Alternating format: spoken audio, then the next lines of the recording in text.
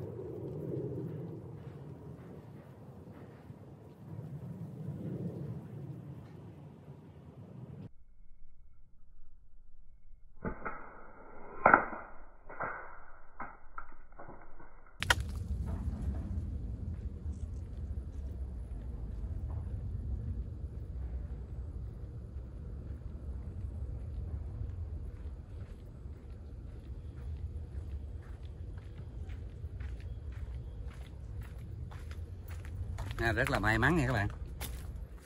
Rất là may mắn ha. Cây mận chặt bẫy nha các bạn. Rất là ok ha. Mẫu này cầm ôm mà rất là ok các bạn. Rất là may mắn luôn. À, rồi cảm ơn các bạn đã xem video nha. Nhớ đăng ký để xem nhiều mẫu ná hơn nha. Cảm ơn các bạn.